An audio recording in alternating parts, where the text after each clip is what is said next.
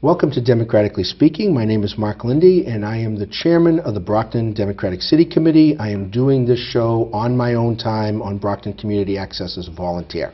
Today in studio, I have John Drusinskas. John is from Ward 6. He's running for City Council. Welcome, John. Thank you. Thank you for having Thanks me Thanks for coming on. Yeah. Um, you're a new candidate. You're someone that's been involved in Brockton for a long time, Mm-hmm. but have you haven't run for office before. no, I haven't. Uh, I do a lot of volunteer work in the community already. Okay, I volunteer for several organizations. I'm a member of the Knights of Columbus. Uh, we do a lot of um, good things in the community. Um, we have a direct connection with Mainspring House here in, Bro- in, in Brockton. Uh, we do a statewide uh, program called Coats for Kids that provides winter clothing for uh, underprivileged, underprivileged children. Um, I also uh, volunteer at the VA Medical Center. Um, I do volunteer work for uh, the Regional Old Colony Hospice. Uh, I volunteer at uh, St. Joseph's Manor Nursing Home, and I'm also on the Board of Trustees there. Uh, I'm a retired person, okay? My entire life I was spent as a retail manager. And uh, what gives me, I think, a distinct advantage over my opponents is that I can have, I, I have the free time to put into this. Uh, one of my opponents, I understand, has a has a full-time job, and the other one uh, has plans on going on to college next year. He's a recent graduate of Cardinal Spellman. So, um, you know, they have they have other things in their lives that will take up uh, take up time. So, I, I have a distinct advantage in that in that uh, I do have the time to put into this. Um, I have, um, as I say, uh, extensive volunteer uh, career in the community, and I consider Ward 6 Councilor nothing more than uh, an extension of my volunteerism, uh, giving back to the community and serving the people in Ward 6. And what brought you out? You haven't run before. I said you're a new candidate. Okay, your name hasn't been on a ballot before. Correct. In Ward 6, it seems like people are on the ballot a lot. We, we, the, the retiring councilor has been there for a while. Mm-hmm. Okay, um, this is an open seat because Michelle Dubois got elected the state representative, and That's she's correct. chosen not to run again for the Ward 6 council spot. What brought you out this time, John? What brought me out this time? Well, I'm, I'm retired and uh, I love my city. I especially love the neighborhood that I live in. I live in the, uh, the village section of Ward 6. Have my entire life. That's where I grew up in. I, as a matter of fact, I'm in st- still in the same house that I grew up in. Uh, the house went from uh, my parents when they passed. They went to me, and I'm still there. So, uh, saying that I have deep roots in the community, I, I'm entrenched in the community. I, I, I really know what's going on, and I think this is a way of giving back to the community that uh, I've lived in my entire life. Let me ask you a question about the village, okay? When I was a kid, okay, I'd go to that village for bakery, for all sorts of different things. The, the Lithuanian Cafe was safe to go to at that point, Mm-hmm. okay? Um, it was the best place in town to go for a beer that was inexpensive and affordable, and you didn't have to worry about whether you got shot or killed. Right, Okay. exactly. Um, living in the village, do you have plans to do anything with the village? Because if you look about if you look about the city, there's focus now on the downtown more than ever before. There's focus in Campello. You don't hear as much about Montello, and you certainly don't hear about the village. Do you have any plans in that respect? Well, the, the, village is making a comeback already uh, without my assistance. Okay, there's more single-family homes being built, which is a good thing. There's less vacant lots. There's uh, less absentee landlords. Um, the the three-decker apartments are being uh, three-decker tenements are being cleaned up, and um, the village I think is progressing in in the right direction. Uh, you mentioned the um, the bars down the village. There was one problem bar that was recently closed, and it was purchased by a gentleman that already owns a business over in Campello, the Sunset Cafe. Um, he's going he's going to be the new owner of um, this bar location, and his plans is to make a family restaurant there. So I'm all in favor of that if it's truly going to be a family restaurant. So the area is already starting to make a comeback. We have a we have a lot more work to do, but um, it's it's getting there. Do you have any ideas of your own? I, I'm not trying to put you on the spot, but I- do you have anything, you know, if I were running for that seat, I, Mm-hmm. I have certain opinions on what I would try to accomplish. Keep in mind, you're a ward council, you're one of 11, there are seven city councilors that are wards, and then the four at-large. So the way I look at it is I have five representatives. I live in Ward 1, so I have my Ward 1 councilor and four more representatives, plus the mayor and then the other people that represent me. But what do you think you can accomplish as a a specific ward councilor to a geographical area? Well, we still have a, we still have a problem with some absentee landlords. Uh, you know, Folks that own mostly three-decker apartments, three-decker uh, tenements, that uh, do not live there, do not live in Brockton at all, and are only interested in getting the, uh, the the rent check each week. And uh, they have to be more careful, uh, more selective of who they rent their apartments out to. They don't want the, uh, the criminal clientele coming into our neighborhood. And they certainly need to keep their apartments, um, you know, the, the, the inside and the outside cleaner. I have an apartment directly behind my house that has that problem, and I've addressed it with the owner, and he, he has cleaned it up. So um, that's, that's one thing I would like to see for sure. Also, more single-family homes, okay? The old location of the Franklin School. The Franklin School is now been closed for a while, it's been demolished, and there are nine house, nine single-family homes being built, affordable single-family, family homes in that location. So the appearance of the ward, the appearance of the, my immediate neighborhood, the village, is, is changing, and that's something I would encourage in, um, in the future. Uh, John, you were involved very heavily in the church Yes. that unfortunately closed. The Archdiocese chose to close the church. Yes, the old? St. Casimir's Church. which the community members bought and paid for, Mm-hmm. the Lithuanian community. I covered a couple of events. Uh, Marita Bizinkauskas used to do a fundraiser every year, I think, for Lithuanian Children's Relief. I went to high school with her. We Okay. graduated the same year. And it was hometown. It was hometown based. Now, there is a church there. It looks like all the houses of worship in Brockton, whether they were at synagogue, it could be a church now, or Mm-hmm. something else. Does that bother you? Did, did, did, did that hurt the neighborhood or, or, It, or anything? It, it, it, just the opposite, Mark. Uh, I'm, I'm happy that the, ch- the, the exterior, the, the the facade of the church is still there. Um, the church is bought by a, a Boston-based um, Protestant group called, um, I believe they, uh, they're called uh, the Greater Tabernacle uh, Congregation. Uh, I've actually met the pastor and his wife. They're very nice people. Uh, they gave me a, uh, a tour of the inside of the church when they found out who I was, a member of the former parish council there, and they've done a very nice job. So just the opposite of what you said. I'm very happy that the church is still there as a church, as a place of worship. Now, schools. You mentioned the Franklin School, that it was torn down and demolished. My mom taught there. That was one of her schools. I remember Mr. Meacham being over there. There are two schools left in Ward 6, the Ashfield School and the Brookfield School. Yes. Um, City councilors don't deal with school issues per se, other than the school budget when you guys pass it. You always hear this city side, school side stuff. How do you feel about schools in general, and what would you do as a city councilor to support them, or what's your take on the school system? Well, I just posted uh, this morning on, on Facebook um, uh, the fact that I attended a, a forum held last week by um, Superintendent Kathleen Smith and other administrators of the school department. Um, it was meant for candidates and current city officials um, uh, to explain what the challenges the school department faces. It was very informative, very educational.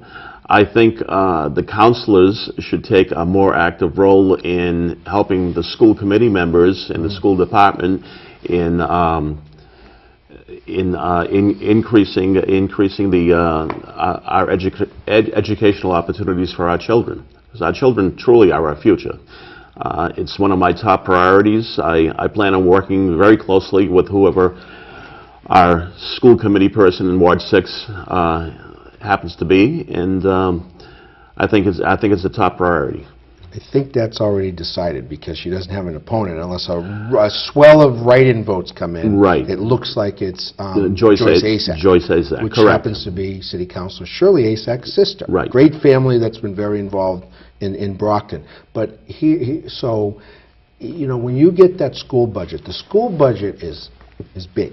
So it's a big budget. Most of the money comes from the state. Right. There's a, a city share in, in terms of that. Um, have you been, uh, I mean, last year I had the ability to go on a tour as an elected official being on the Southeastern School Committee and look at the condition of the schools. Have you been, I mean, you vote at Ashfield? Uh, uh, Brookfield. Brookfield, okay, because Brookfield, vote, Brookfield has yes. three of the four precincts that vote there. Yes. Have you seen the conditions of the schools? Do you, do do you have any thoughts on that?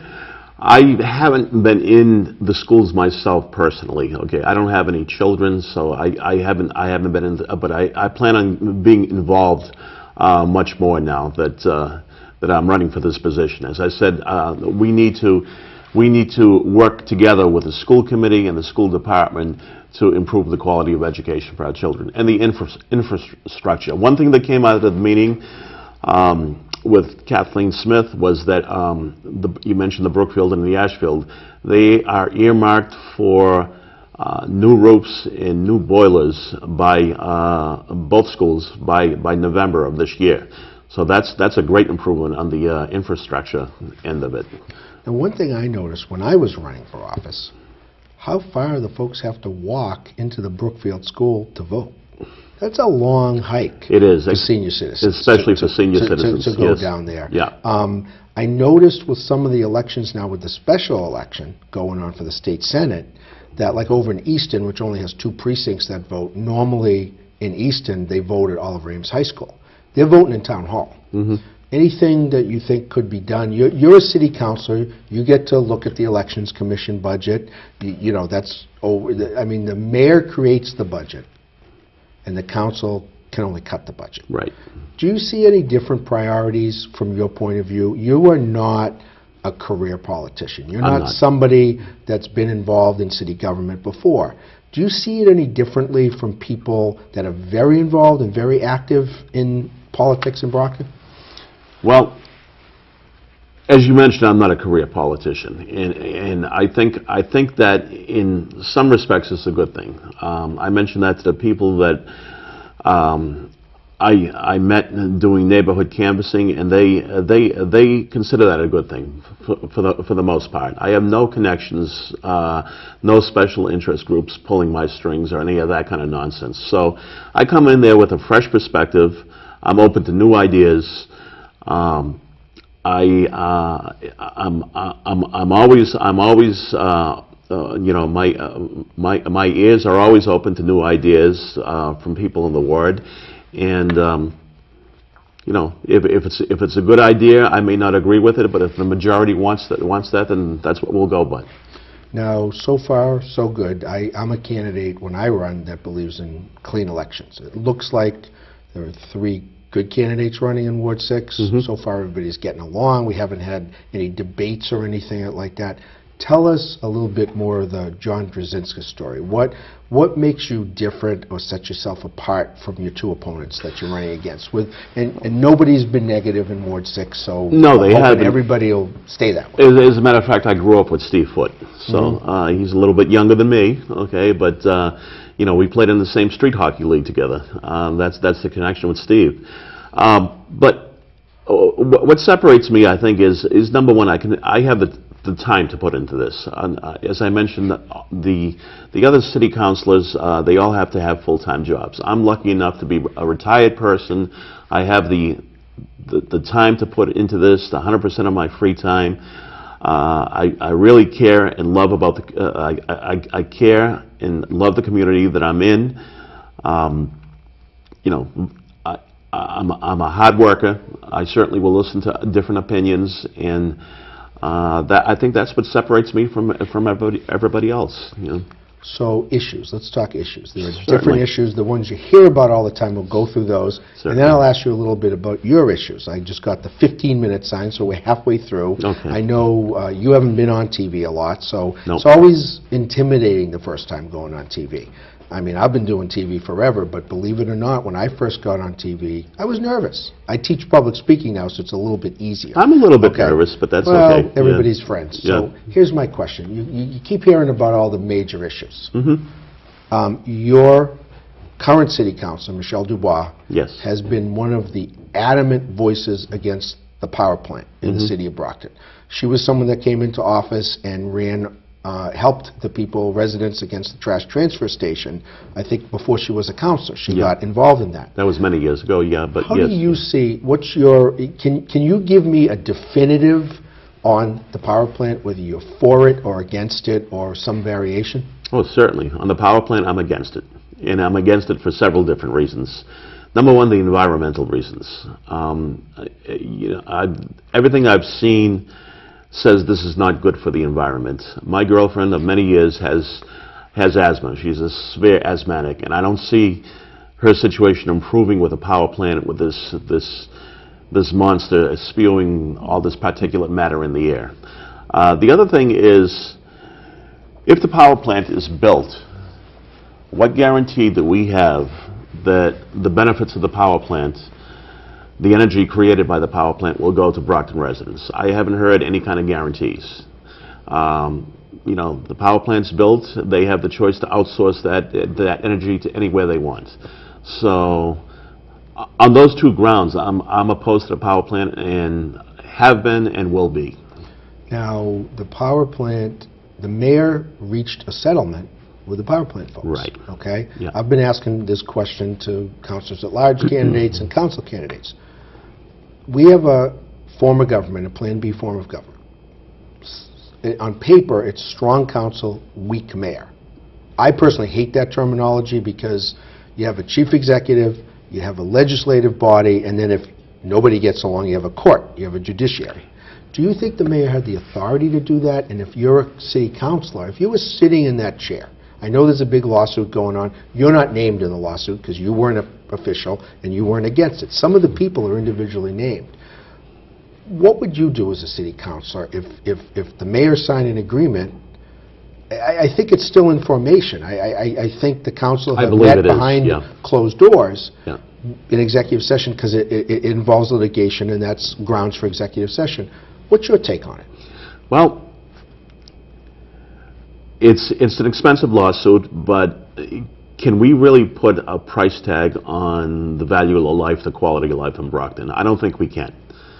I don't, uh, you you know, it's costing, uh, you know, it's costing the city millions of dollars, and it probably will in, the- in the future, but I don't think you could put, uh, put a price tag on, on, on the, the quality of life in Brockton. Uh, And the power plant, if it's built, and its operating will definitely uh, negatively affect the quality of life in our city. Um, Does the mayor have the, the authority to do that? I'm not sure. Uh, I'm, I'm not, uh, you know, I, I'm not a lawyer. Uh, I, I couldn't tell you what the, uh, you know, the legal ramifications of that would be. Um, Without the, the mayor consulting the council before settling, uh, before signing that agreement, I would be, I would be upset, as the council is. Yeah. Now, desal is another thing. Mhm. Um, This city has been paying a lot of money for a long time under an agreement for the desal plant to use the water that basically we don't use. Right, We only used it when we just had a recent crisis. right. The mayor has a proposal to buy it. Instead of leasing it, instead of making all those payments every year, um, the price, there's a debate going on about the price, whether it's a fair price, whether it's overinflated, what the deal is. What's your opinion? The figure on, the- on the price that I've heard was $88 million. Okay, now, if the city can find $88 million to buy a desal plant, an antiquated desal plant that we don't want or we don't need, then that money, in my opinion, could be put into other things, like education, you mentioned earlier, okay?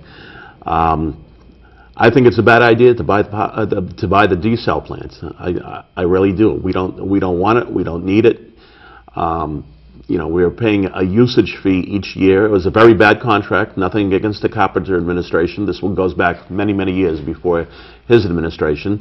But there should be a, a legal way to get out of the contract because they, Aquaria has basically reneged on their contract, and we need to, we need to void that contract.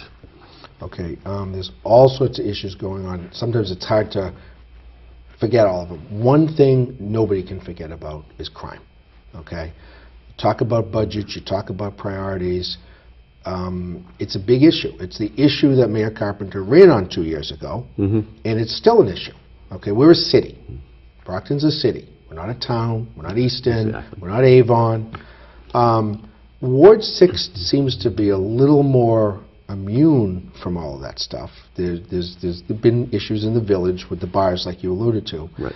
Um, What's your take on public safety? What do we need to do? What do we need to do differently? Do we have the resources? Do we have the manpower? What What's your opinion? We have to, uh, as a city, we have to find creative ways to bring in uh, people, what I call people-friendly businesses. And, and uh, I- I'm not referring to the power plant as people-friendly or the Qu- Aquaria plant, and and raise revenue to get more. You know, it's it's it's the domino theory. If you have if you have good businesses that are paying uh, their fair share in taxes, you can raise revenue to get more boots on the ground for the police. And the fire department, from what I understand, has been trying to get a ladder truck, a new ladder truck for years. So we need we need to find uh, creative ways to raise more revenue for both for our first responders, for the police and the fire department. Now, Ward 6 has its own fire station.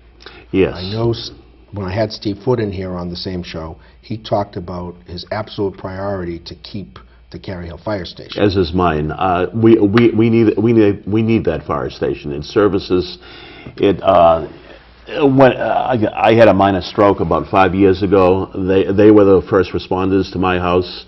Um, you know, uh, when my parents were alive, um, they had medical issues, and they were the first people there. We we we definitely need that fire station in our area, and I will fight to keep that fire station open. There's been rumors that it, it might close altogether, rumors that it might become a part-time station. Um, that is no good. We need a we need a full-time uh, staff there. Ambulance contract was changed. 32 years with uh, AMR, now we're into Brewster. Any thoughts or opinions on that? I really don't know enough about that. Okay, that's the, that's that's interesting. I mean, there's been allegations, of course, um, that you've probably heard that that, that Brewster um, contributed to the mayor's campaign, and you know, the, these are all.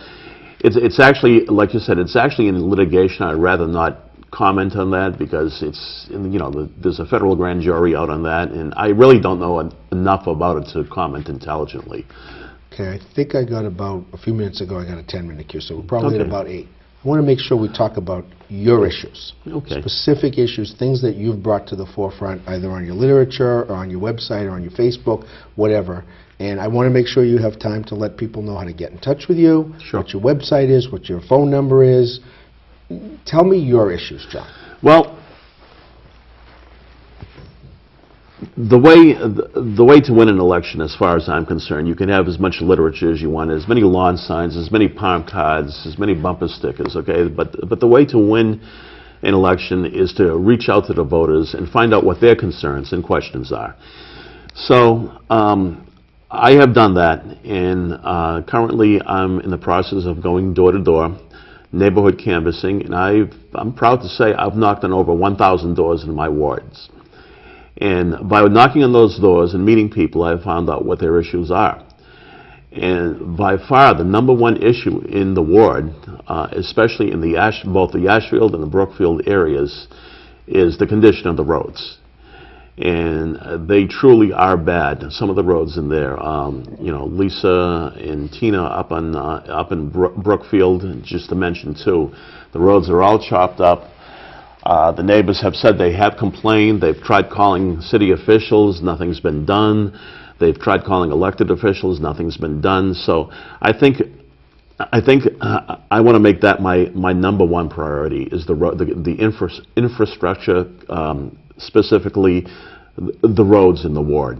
Okay, we have a new DPW commissioner here in, in, in Brockton, and he seems to be like a he seems to be a good man and wants to do the right thing. So I'd like to meet with him one on one and see what what can be done about the situation for the residents. Um, dri- driving is bad enough, but I can tell you, walking, I've twisted my ankles a couple of times just walking those roads, so they are bad. Yeah. That's one, that's one of my issues. Well, I've been planning the breakfast for the Democratic City Committee, and I've been going to Larry Curtis's house. And Larry's on Dixon, Yes. And going in off of, I think it's North Cary, off the side streets into his street, there's issues with Right. the roads. I, I live in Ward One. It wasn't until a couple of years ago that I had my street done, and the street next to me was done sooner. It seems like there's only three or four streets a year that get done per ward because the money that comes from the state kind of dries up. But, uh, you know, when I went out, I wasn't even running for a city office. I was running for state rep and for register probate. And when I went door to door, I had people talking to me about streets, so I can see that. Yeah. Um, how do you prioritize things? So I got the five-minute cue, so I want to make sure, for sure, we, we give you time to promote yourself and tell people why they should vote to you, for you. But what are your, how do you prioritize as a city council? You've got a lot of competing interests, okay? How do you decide, like, I'll put in the pitch right now. I'm the chair of the library board. Where do libraries fit in? Where does the council on aging fit in? Where do veterans fit in? How do you make those decisions? You're the new kid on the block. How do you decide what's more important? Well, it, it, I think how you decide is what, what impacts the community the most, okay? Uh, libraries are important, okay? Uh, education is important. Uh, it, it depends on which issue impacts the, the um, larger amount of the population, to me. That's, that's how I would prioritize. Do you have, I mean, you talked about streets, you talked about public safety. Okay, you have to pick, you got a limited budget. I'm going to put you in the hot seat. What's the number one? Okay, they tell me three minutes, so you got about a minute to answer that. Okay. Um, I, I would say, I would say the streets, that's the, that's the immediate concern of people. Um, You know, I, I- a ward councillor also is responsible for the entire city, but immediately responsible for the people in his ward. And that has been the major complaint of people that I've spoken to. So I would say the streets would be, uh, the, the streets and the condition of the streets would be my number one priority. Okay, I'm going to give you two minutes. Mm-hmm. Wrap into your two minutes, and you can address the viewers, the voters. Tell them why they should vote to you, how they get in touch with you, Mm-hmm. uh, website, phone number, things like that. Okay, my name is John Drusinskas, as Mark said. Um, I'm running for Ward 6 Councilor. I'm new to politics, new to local politics. This is the first time I'm running. I, um, not a career politician. I don't come with any special interests, pulling my strings, or any of that kind of nonsense. I bring a fresh and new perspective to the City Council. I hope you consider me. Uh, You can get in touch with me uh, at my home number, 508-586-8599, or if you prefer uh, sending me an email, my email address is johnd27 at verizon.net. Uh, I do not have a website, but I I do have a Facebook page. You can find all the information uh, about me on on my Facebook page. And I respectfully ask for your vote on September 20 22nd. Uh, Vote for the guy with the unusual last name, and I'm number three on the ballot for Councilor for Ward 6. Well, thank you, John. Uh, What do I have left for time? Just, uh, I got a minute. Okay. Okay. So, first of all, thank you for coming on to You're welcome. talk about and promote your candidacy. I believe in educating all the voters so they can take a look. Um, And uh, I'll thank you for putting your name on the ballot. I think anybody, having run myself, anyone that puts the name on the ballot should be commended. Okay? If if I have 30 seconds, I also like to congratulate you in your chairmanship of the Democratic City Committee. Well, I'm going to try. We're going to give it a good go. Okay. And we'll get all the candidates on on the 20, uh, the 20th super. at the breakfast. That's Um. You're watching Democratically Speaking. Mark Linde, your host, uh, chairman of the Brockton Democratic City Committee. I just want everybody to remember that on September 22nd, it's your duty, it's your right to vote, so make sure you exercise your right that people fought for and died for. Thank you very much for joining us.